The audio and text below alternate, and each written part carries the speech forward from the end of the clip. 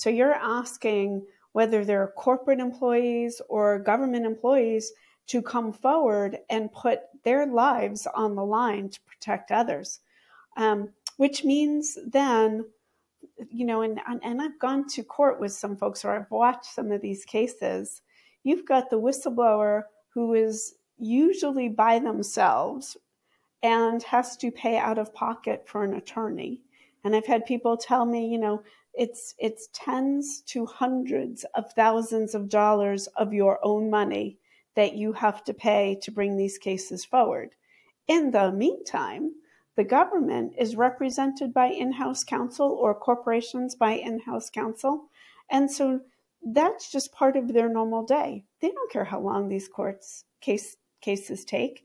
They can go on for 10 years. Nobody's losing their job over it. But in the meantime, the whistleblower is unemployed or has been demoted, is not making the salary they used to. And every couple of months, you know, here comes the bill from the attorney. So they're spending down their um, retirement accounts, their children's college fund. That's causing a lot of marital strife. It's not unusual for me to talk to whistleblowers who are either going through a divorce or in marital counseling, have had to sell the family home, a car, take a second job driving, you know, for like Uber and Lyft.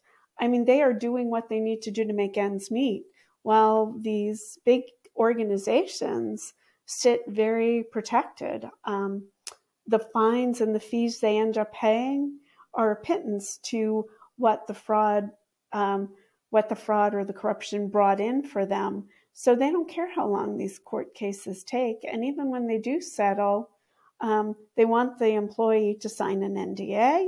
They don't want to compensate them for their comp- compensatory losses, like their pain and suffering. They don't want to fully compensate them for their legal fees. So if you've paid out $500,000 in legal fees and they're saying, oh, well, we'll give you 10 or 20% of that, that's not a recovery.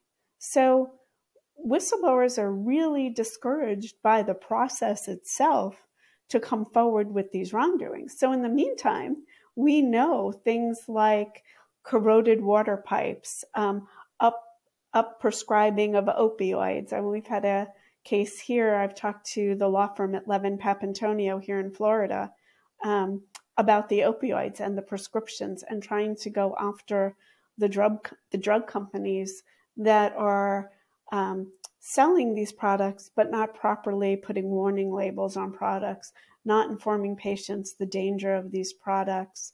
So when you talk about things like that, um, you know, and we see this as an international problem too, again, not just in the US, uh, where the rules are different.